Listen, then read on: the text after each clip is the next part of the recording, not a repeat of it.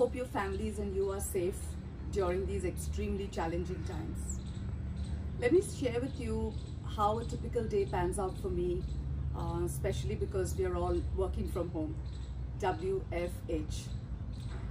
It's, it's challenging, uh, it's new for a lot of us, but I must say it's got its interesting and even at times exciting bits. So this is where I typically start my mornings. Most of the time, I'm an early riser and I'm alone. Um, I look at the tree and the plants around us. You can see a bit of the tree here and um, I do say a prayer of thanks. The tree inspires me a lot because I feel trees stand for resilience, uh, for longevity and for just seeing through years and years of um, you know incidents and troubling times and yet they stand tall. Um, so without getting very heavy, this is a bit of introspection for me. I sit alone with my coffee and um, sort of uh, just start thinking about my day. Where I work, um, we started working from home from the 16th of March, so it's been quite a while now. So this has really been my work from home desk, though I must say on a regular work day as well, uh, this is where, you know, after work, when I again come back to my laptop, I, I like to sit here. A uh, lot of lights, you can see paintings around. My husband's an artist and uh, our house is like a mini museum and again I just, I feel very inspired with art around me. So coming to work, we've divided our work uh, when it comes to working from home into three large buckets. And the first and the most important is of course people. Uh, people, uh, physical health, mental well-being.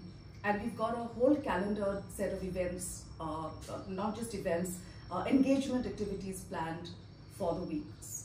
So for instance, starting from inviting an external guest speaker to inspire us, to birthday celebrations where we all get on video and sing and wish, to impromptu quizzes, we've done possibly everything, though we can do a lot more.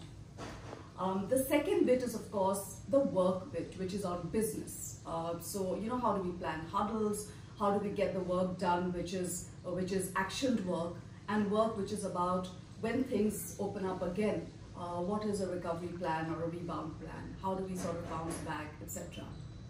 And the third bit of it is what I feel very important and passionate about. Be very open and honest with the team because this is a time where you have to put all cards on the table, regular updates, which is all about being transparent and letting people know that we are in this together and we shall overcome this together. Evenings are pretty much a mix of a very, very healthy but sometimes unbalanced mix of Netflix, um, reading, a lot of catching up on reading. So this is really a study where we've got all our books, um, there's a TV and it's, it's a nice place to relax. Um, we're doing a lot of video calls, of course, catching up with family back home, friends, and we've just realized, I mean, we're asking ourselves why we didn't do it before because uh, you know, it's almost like people are just a screen away and uh, we've, we've reconnected with many of our friends. Um, you must be wondering why I haven't spoken about cooking at all um, and cleaning. Yes, I have done my bit of cleaning and uh, swabbing because, you know, the support staff is on leave. Um, but uh, I'm very blessed to have a husband who's a chef. He's not professional, but close to being professional. So we are being served really, really delicious uh, dishes that he forages from the refrigerator and whatever we can manage to get our hands on. So that's, that's on the cooking bit.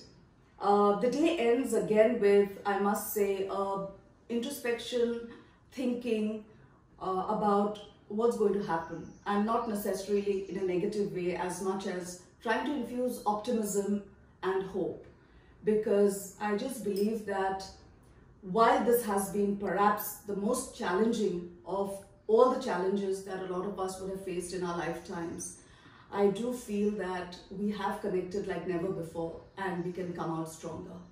Thank you.